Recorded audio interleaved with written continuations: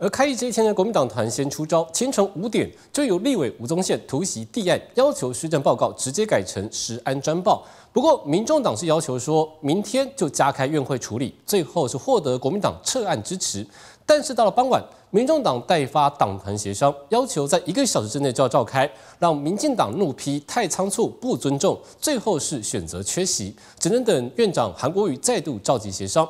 而蓝白也上演了大和解，因为民众党主席柯文哲自曝，二十二号后天晚上，他将会跟蓝白党团的三长一起吃饭。开第一天情况峰回路转，陈建仁到立法院施政报告，国民党清晨却突袭，地案要求改成实案专报。早起床来送建有这个药物，希望明天能够加开一天院会。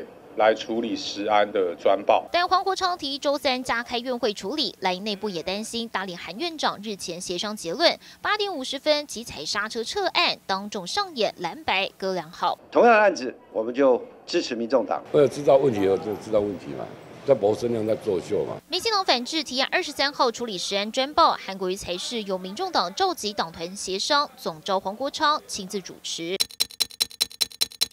天下午四点半，除了主席，只有民众党干事长吴春成和国民党团书记长洪孟凯三男对谈。绿营三长就是没出现，一等将近半小时，只能散会。民主进步党党团啊，没有派代表出席，针对哦实案报告的这件事情，由院长来召集协商。但民进党干事长吴思瑶还原经过，民众党下午三点三十六分才发送协商通知，叫大家一个小时内报道，太不尊重。不过蓝白联手的态势却似乎越来越明显。国民党三长跟民众党三长的换局啊，会啊，会来一次的。我是这样说，我来一次，那以后你们就自己，以后就自己讨论就好。以虎谋皮，尔虞我诈，没有用的。立法院蓝白合终于成型了吗？因为民众党的主席柯文哲就在二十二号就选在立法院的康源餐厅，要带着自家民众党的党团三长和国民党的党团三长就在这会面。二十二号立院餐厅蓝白会在野联盟对抗执政团队，但光是一个实案专报却吵了半天，依旧没下文。接台北综合报道。